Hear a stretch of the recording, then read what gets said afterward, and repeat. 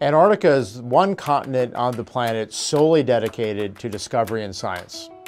The largest base on the continent, McMurdo Station, was built by the U.S. Navy in 1955 by the Navy Seabees and was transferred to the National Science Foundation to manage for the country and our international science and discovery partnerships.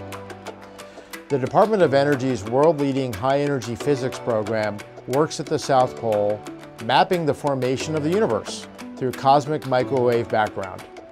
Light from the early years right after the Big Bang still travels across the universe.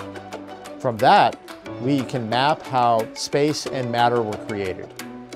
To capture that light, the Department of Energy and the National Science Foundation fund the South Pole Telescope, which is built and operated by Argonne National Lab, the University of Chicago, Harvard, along with other institutions.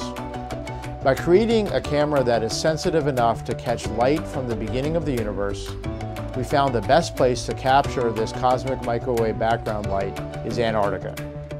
The South Pole Telescope is located at 9,300 feet above sea level in a remote location where the air is very dry, which reduces light interference from human civilization. Due to the success of the current South Pole Telescope, we are working with NSF to develop the next generation of telescopes. More than a thousand people work at McMurdo Station during the Antarctic summer, conducting research and supplying field camps all over the continent.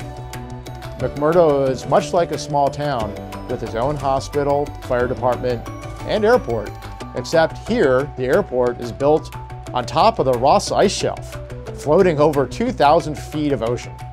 There's nothing like living at the bottom of the world with conditions that are similar to Mars and with wildlife like Adélie penguins. The research is being conducted in Antarctica will lead us to greater understanding and the Department of Energy is working to help push the bounds of knowledge for humanity by identifying new and exciting paths to future discoveries.